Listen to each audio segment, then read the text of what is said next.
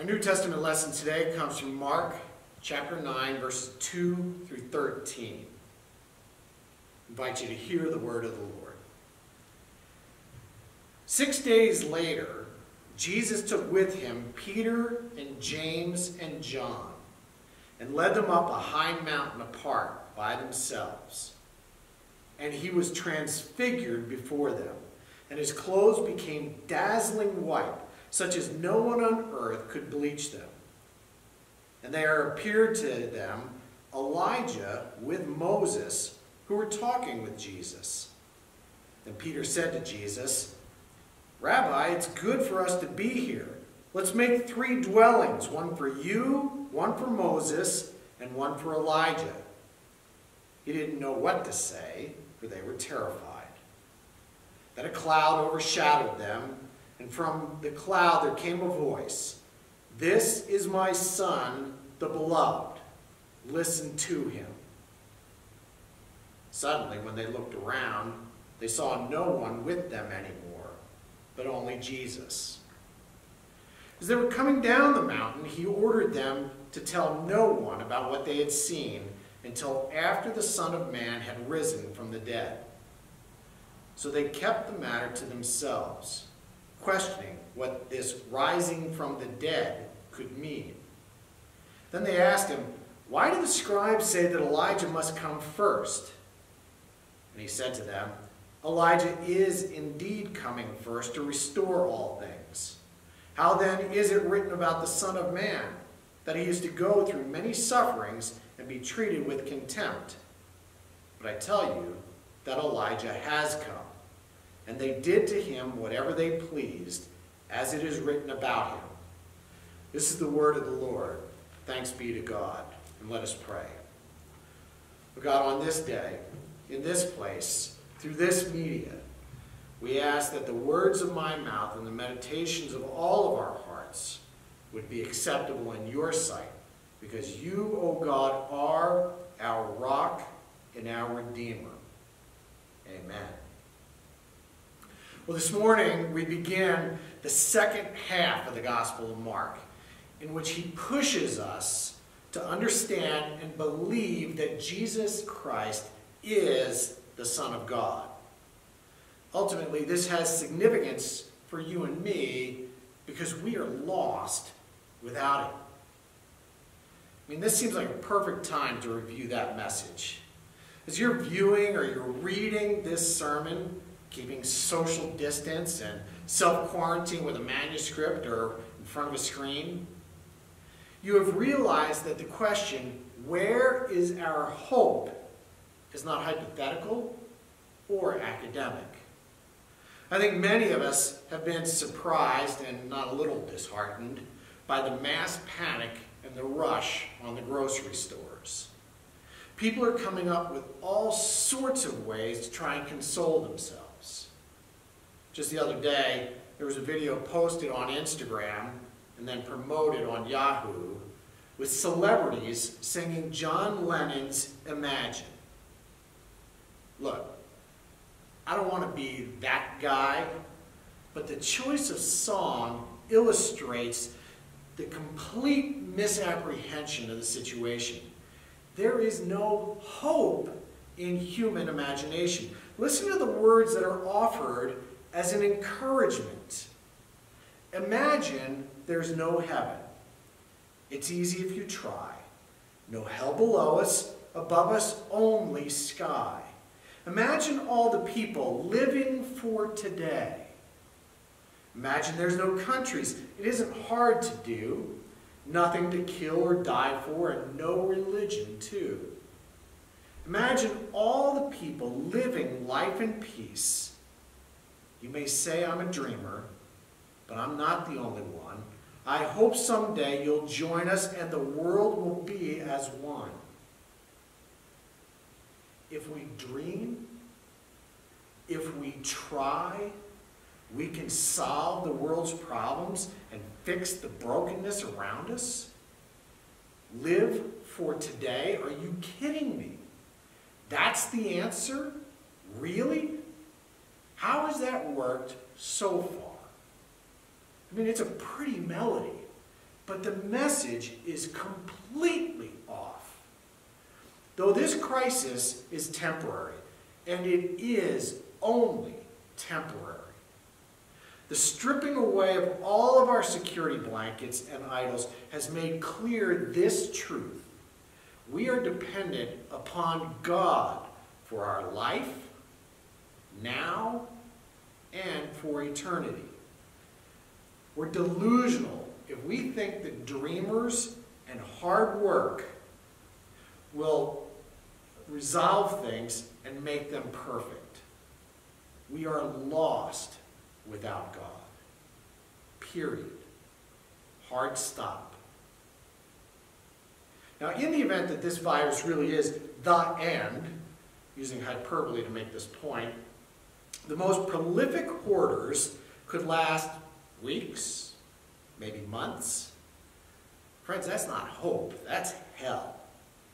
If the chief end of man is to glorify God and enjoy Him forever, and it is, then we need to begin articulating the hope that's found within us. Now, in the midst, the message of the gospel is good news. It was good news when Jesus was proclaiming it in the circumstances of his day. It is good news now in our circumstances. It will be good news going forward no matter what the circumstances. We have hope, real hope. That's what our scripture text covers today.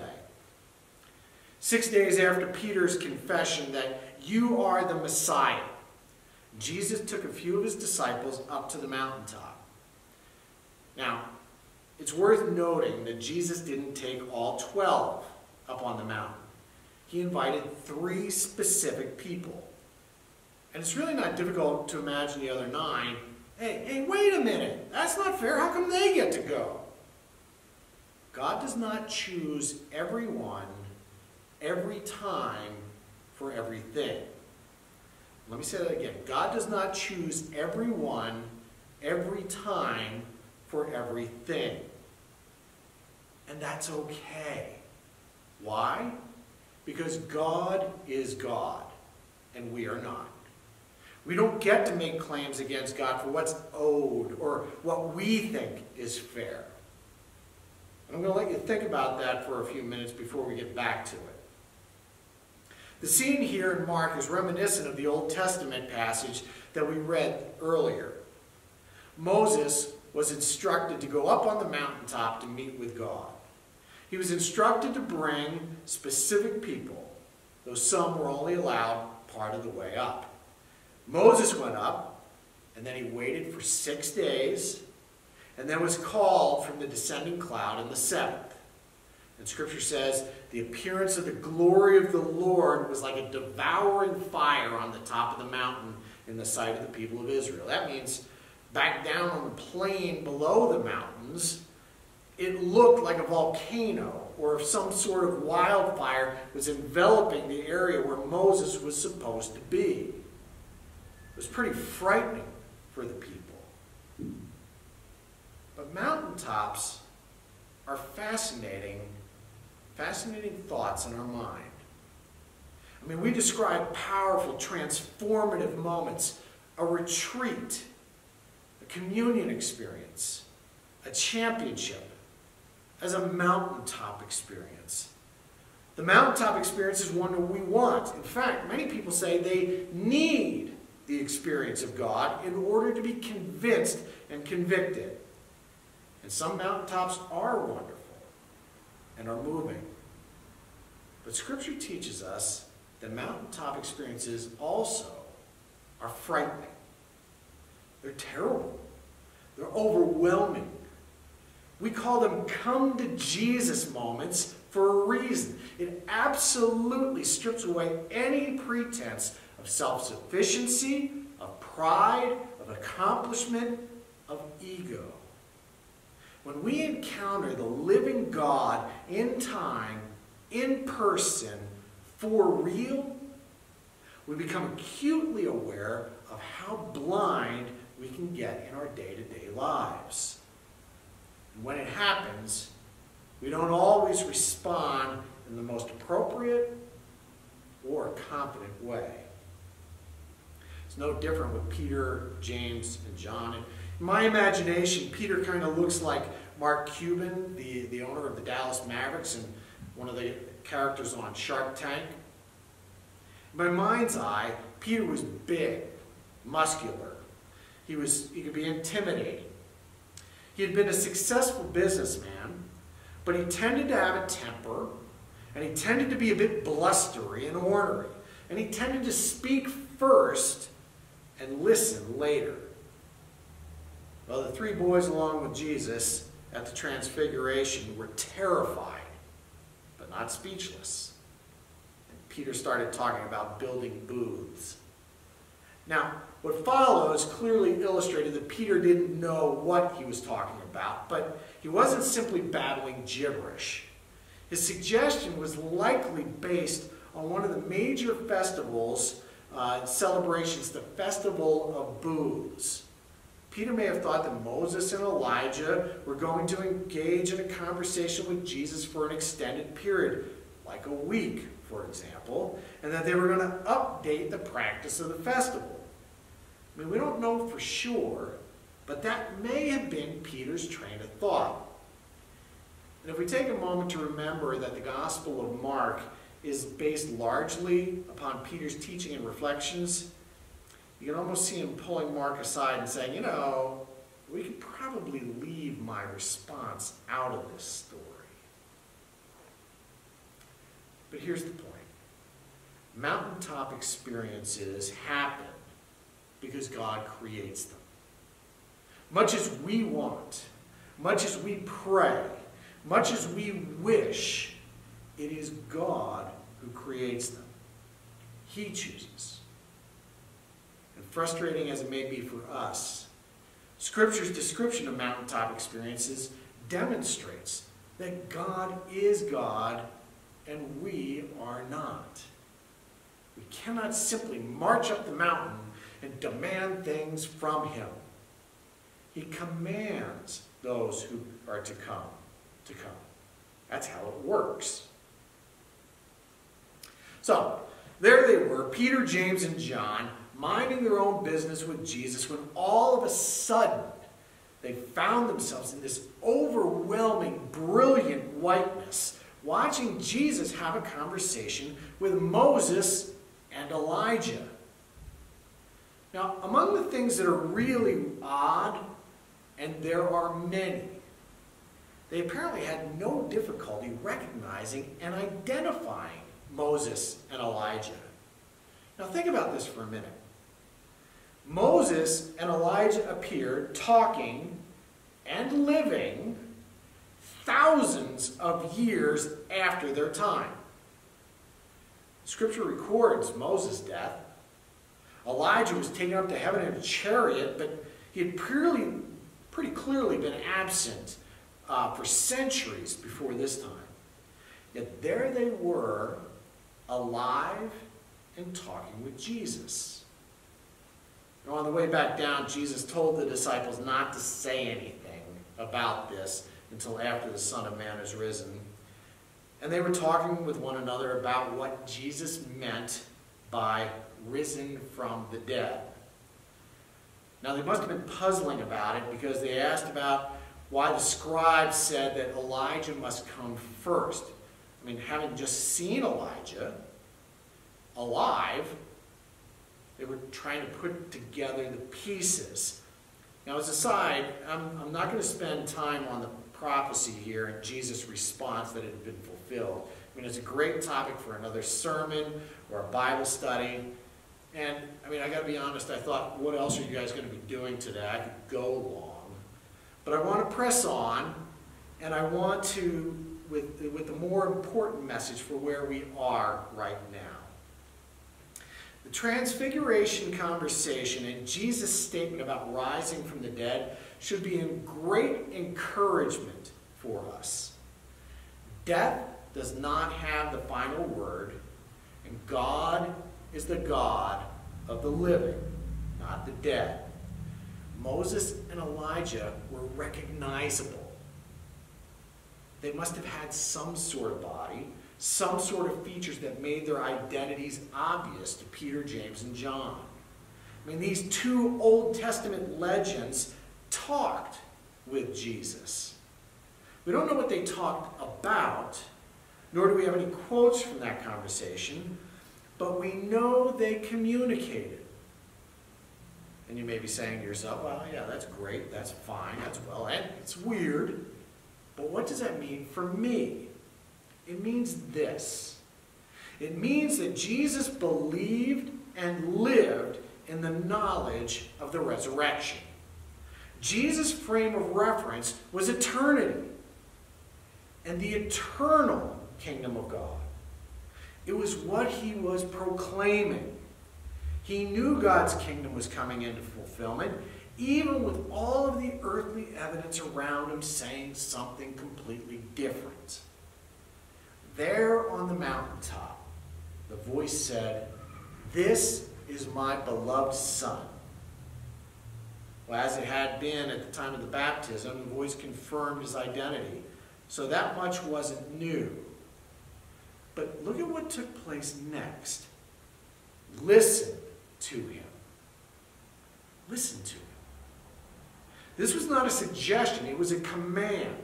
It was an imperative. It was a direct instruction. Listen to him. The living, resurrected Jesus still speaks today via the Holy Spirit. I mean, at baptism, the Spirit descended like a dove. At Pentecost, Spirit came like tongues of fire. And today, the Spirit still speaks. But do we have ears to hear? If so, we need to remind ourselves of the voice on the mountaintop. Listen to him. Listen to him. What is the Spirit of the living, risen Jesus Christ saying? Well, this is a question that has some very practical applications. First, it means pay attention to what Jesus said. What did Jesus say? The time is fulfilled, the kingdom of God has come near. Repent and believe the good news. Jesus came teaching the reality and the presence of the kingdom of God. He meant it. It wasn't just a teaser message to draw big crowds. I mean, the message wasn't filler between miracles. The miracles were demonstrations of the truth of the message. They were validations of the power of God. They were fulfillments of the promises of the prophets. They were attention grabbers, not in terms of entertainment, but rather as expressions of wake up, look, see, listen here. Now remember, this transfiguration took place soon after Peter's confession when the disciples finally, finally gave the answer to the question they had been asking all along. Who is this? You are the Messiah. The lifting of the veil and the revealing of Jesus' true identity had some profound implications. The implications of his being the Messiah were just as Jesus told them when Peter made his confession. The Son of Man must undergo great suffering and be rejected by the elders, the chief priests, and the scribes, and be killed, and after three days rise again. Target wasn't to overthrow Rome. Rome was too small. The target to be destroyed is death. And he was going to accomplish that victory by going through death. Now, you may have heard this before. You may have even heard it thousands of times before. However, as we are in the midst of a worldwide panic over a disease that has shown our frailty and our inability to be in control. In short, a vivid illustration of the world being imprisoned by the fear of death. The transfiguration, followed by the command, listen to him is so much more profound. As believers, we don't need to fear death. Death has no power over us. The coronavirus may be able to kill our body, but it doesn't have any authority over our soul. It has no power to judge. It is not a standard or a litmus test of righteousness.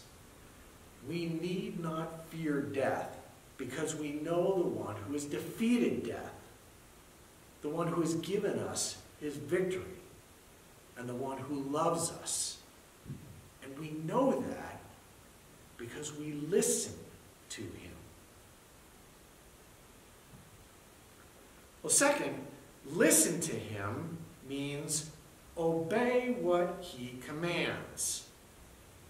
On the way back down the mountain, Jesus commanded the other three not to say anything until the Son of Man had risen from the dead, and they obeyed. Now, Mark wrote that they discussed among themselves what he meant by risen from the dead, but they obeyed his command not to talk about the transfiguration, even though they didn't understand fully what he was saying. Now, obeying commands and obeying what Jesus commands is not something we like to hear or do.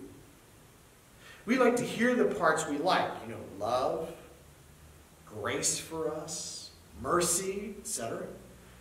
But when it comes down to doing what Jesus commanded, we have our reservations. You know, it may cost too much.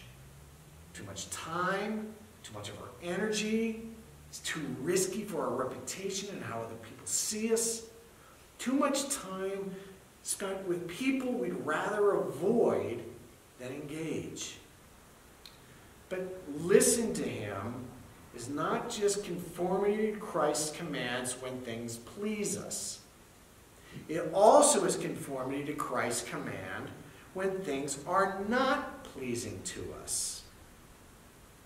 Now, obeying what Jesus commanded looks a lot like what we've already read in the Gospel of Mark. In chapter 6, Jesus sent out the disciples in pairs to teach and proclaim his message of the kingdom of God, encouraging people to repent. In other words, the disciples were sent out to exhort people to give up on the things that cannot save, to repent, and to turn to the one who can save. Again, the demonstration of power the disciples, that the disciples were authorized to perform, that is, casting out unclean spirits and curing people, it was designed to validate the message. Well, what does this mean for us? I mean, should we storm the hospitals this week, casting out unclean spirit and anointing people with oil to cure diseases? Now, I have not heard that call. What I have heard can be summed up in a nutshell. Pray. Prayer is the work of faith.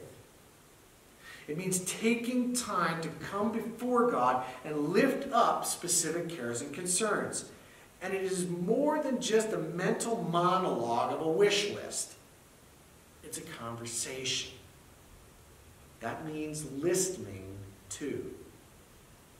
It means sitting uncomfortably in silence, attending God, and listening for His Word. Because you got to know, God is not bullied by a barrage of words, nor is He really waiting for us to tell Him what to do. God wants you to spend time with Him. Right now, what do you have in abundance? Time.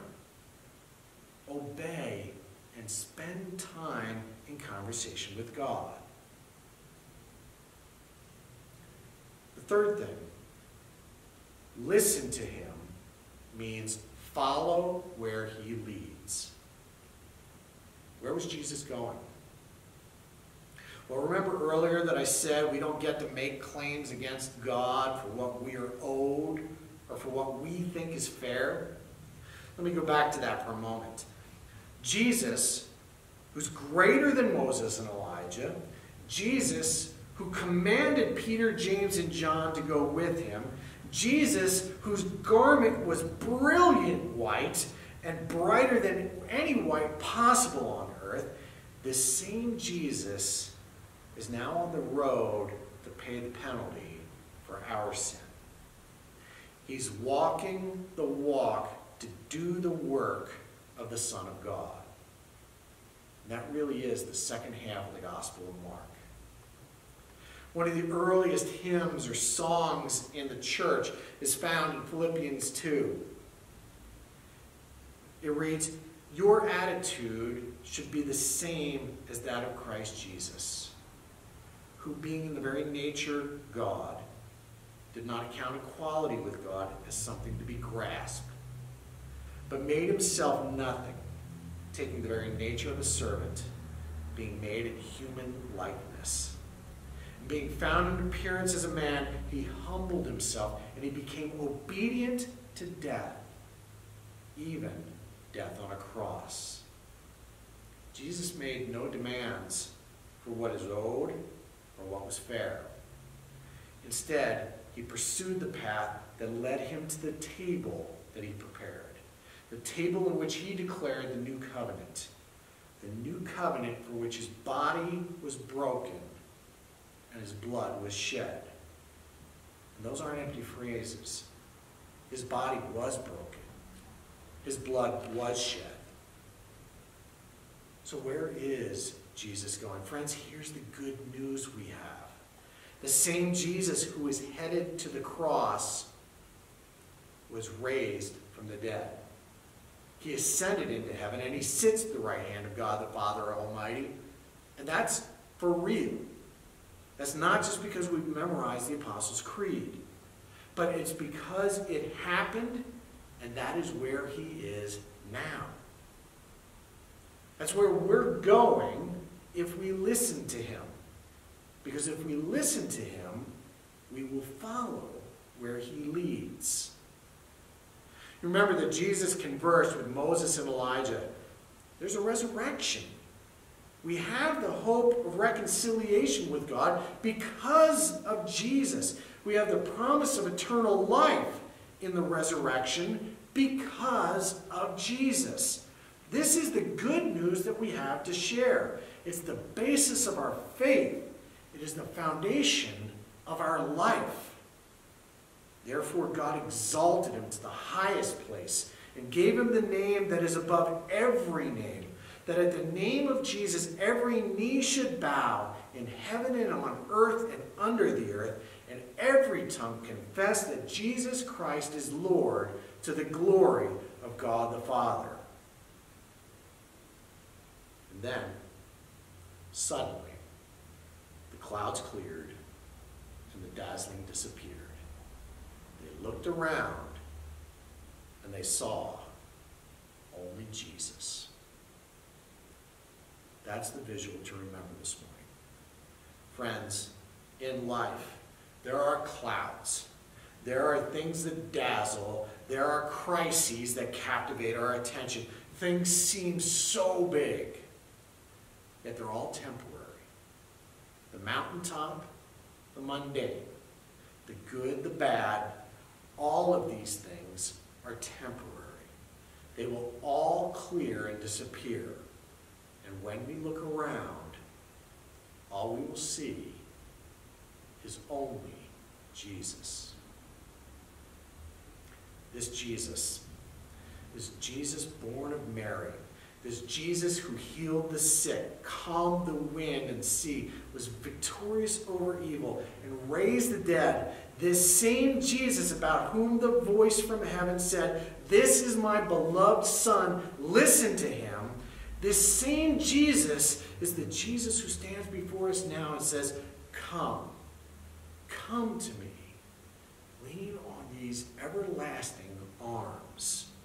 Friends, what good news we have to share. Jesus saves.